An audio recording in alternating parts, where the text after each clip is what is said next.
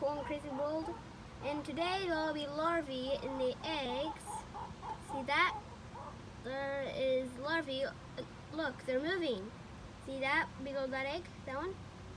The they're moving. See that? And see those those holes that don't have the eggs. The the wasps already got out of them because they grew up. And those are the eggs on top. Those are the eggs on top.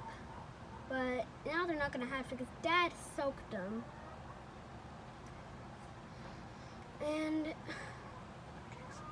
and so now that there's that larvae and did you know that wasps use their saliva to get to make the nest and that's what they, they use the saliva to make their nest. So, bye.